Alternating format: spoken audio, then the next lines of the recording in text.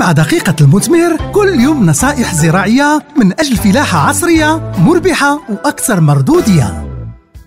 أخي الفلاح أختي الفلاحة حلقة اليوم غادا تمكننا باش نعرفوا آلة زرع مباشر أو السموار ونضبطوا الكمية ديال الزريعة الزراعات القطاني. فهي كتكون من آلة بذر التقليديه مع بعض الإضافات مهمة واللي هي الساس. فهي متكونة من صناديق كنوضعوا فيهم الزريعه وال engrais وقنوات كتوصل الزريعه وال engrais للأرض.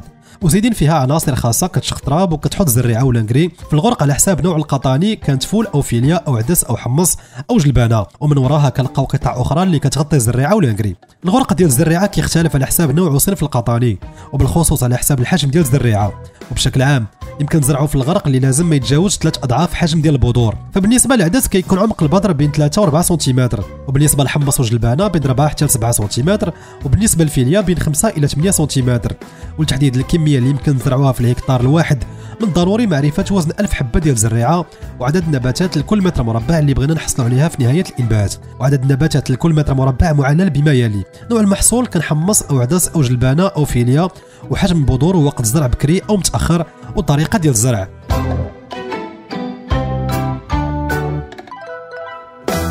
أخي الفلاح أختي الفلاحة. فالتجربة الميدانية بينات باللي من الافضل نزرعوا بالقياس أنه في حالة كانت السنة رطبه تيكون من الصعب السيطرة على الأمراض الفطرية وخاصة ال botrytis وال anthracnose.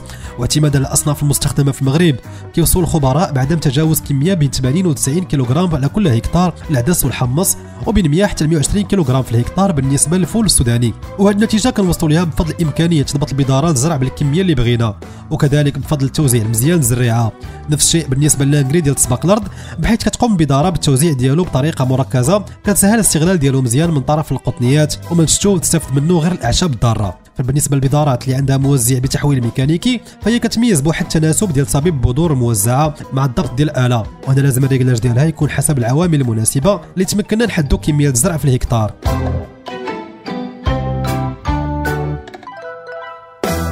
أخي الفلاح أختي الفلاحه فباش ننجحوا عملية الزرع لازمنا نتحققوا من طريقة الريغلاج ديال السموار بحيث كنوضعوا كمية صغيرة ديال الزريعة في الوعاء. كندوروا عجلة قياده الموزع كنوضعوا خيط أو قطعة ديال التوب أو بلاستيك تحت متقاب البذور باش نجمعوا الزريعة بسهولة. كندوروا عجله القيادة بعد الدورات المحددة وكنجمعوا الزريعه اللي نزلات وكنوزنوها وكنعدلوا الفتحة ديال الموزع. وبهذا أخي الفلاح أختي الفلاحة تكونوا زرعتوا بلادكم بكري بلا ما حرتوها واقتصدتوا في الزريعة وتكونوا حطيتوها هي ولا كل واحد في المكان المناسب بالكمية المناسبة وفي الوقت المناسب. وتكونوا نقصتوا في المخسور وحسنتوا الإنتاجية والجودة ديال القطنيه ديالكم.